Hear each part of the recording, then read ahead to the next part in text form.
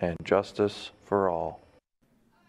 Good morning and welcome to the morning show. Today is Thursday, March 30th, 2023, and an A day. Good morning, I'm Annika. And good morning, I'm Catherine. Tomorrow, Friday, March 31st, Webster Schroeder will be hosting a career fair from 11:30 to 2:30 p.m. Over 70 businesses will be here representing hundreds of different career fields. Make sure you take advantage of this opportunity to learn about your careers for the future or get a job now. More info will be shared on your classroom page in Google and in our Schroeder newsletter. Stop down to the Counseling Center if you have any questions. March is Youth Art, Art Month, celebrating the importance of art and education. The National Art Honor Society encourages everyone to take a look at the artwork hanging throughout the building and to get creative. Go make some art! Throughout One Warrior Week, Webster Schroeder Community Service Club will be hosting a food drive in the cafeteria, fourth and fifth periods. Please bring anything from the list to box in the cafeteria to help out the kids at the Center of Youth.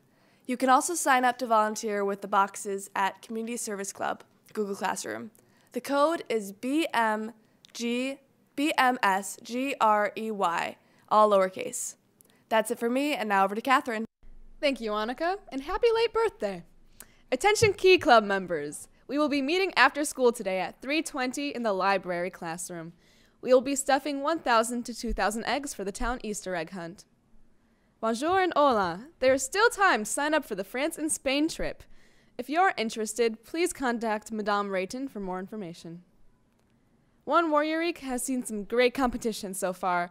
Congratulations to junior Nicholas T and senior Tyler D for advancing to the finals of One Warrior Week chess tournament.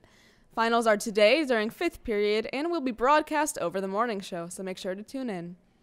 Also, the semifinals of the seniors versus staff ping pong tur- tournament pit senior Brandon N against Mr. Fedor and Mr. Van Houten versus Mr. Leader. Good luck. And now over to Lucy from Student Council. Thank you, Catherine. Happy One Warrior Week. How about we keep these festivities going by attending the Student Council Spring Fling tonight from 7:30 to 9:30 to play games, eat food, and hang out with your friends. Don't have an outfit? No worries, it's casual. But Lucy, I don't have a ticket yet. Well, don't worry. You can still buy them today during 4th and 5th period or at the door. Can't wait to see you guys there. And now over to a Sources of Strength mentor video.